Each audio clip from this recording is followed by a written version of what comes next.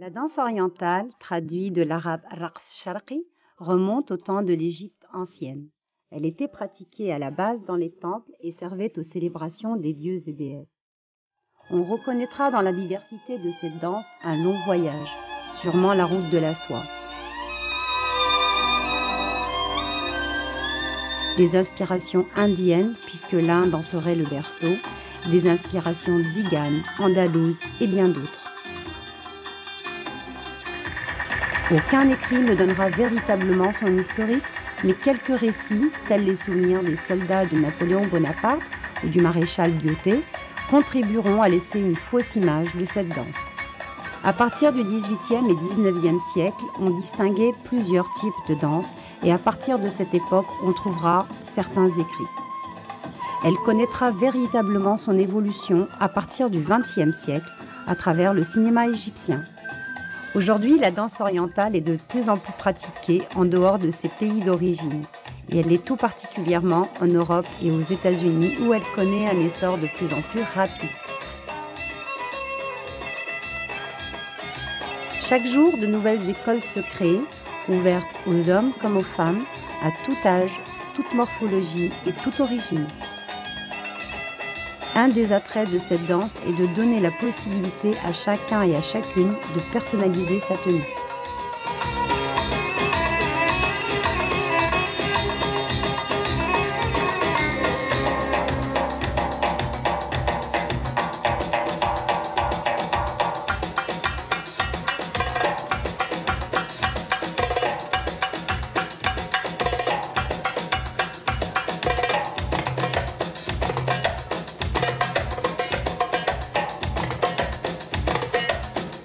Il y a encore quelques années, on assimilait cette danse à un divertissement de cabaret, alors qu'aujourd'hui, grâce aux nombreuses écoles, elle devient réhabilitée. Au même titre que les autres danses, la danse orientale demande un apprentissage des techniques et certains déplacements. Cette danse, bien que spontanée, devient enseignée de façon académique.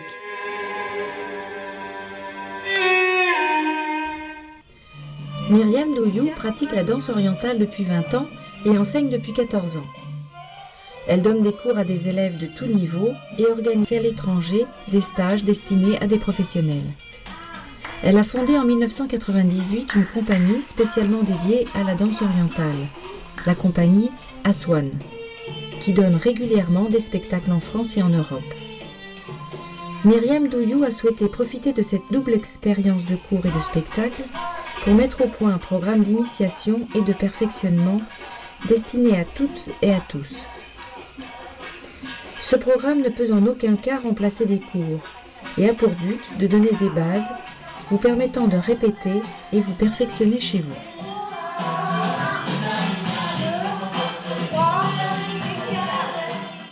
Pour vous permettre de pratiquer avec confort et sans risque la danse orientale, il est indispensable de commencer par un échauffement progressif et méthodique. Pensez à toujours commencer par le haut du corps et à descendre progressivement jusqu'au bout des pieds. Ainsi, on commencera par la tête, les épaules, le buste, le bassin, les jambes et on terminera par les pieds.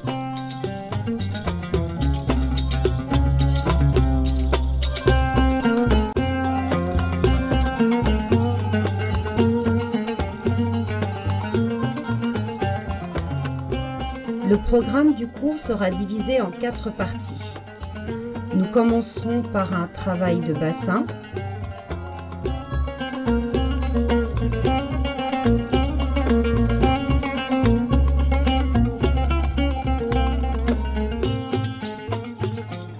Puis un travail de buste.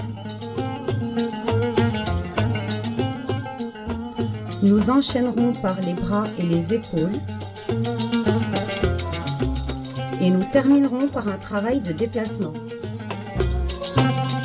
Je vous conseille de bien assimiler le travail de chaque partie du corps avant de passer à la suivante. À la fin du cours, je vous propose un enchaînement qui vous permettra de mettre en pratique tout ce que vous aurez appris. Vous commencerez par un enchaînement commenté, puis vous pourrez le refaire sur la musique seule.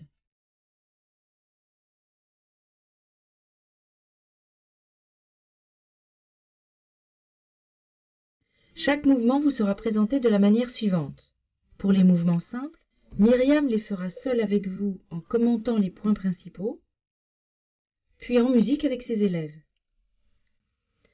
Les mouvements plus complexes vous seront d'abord présentés au ralenti. Regardez-les, n'essayez pas de les faire.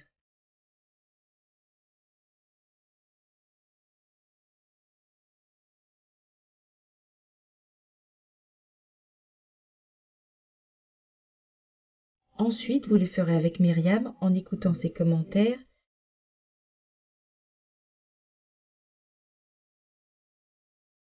puis en musique avec ses élèves.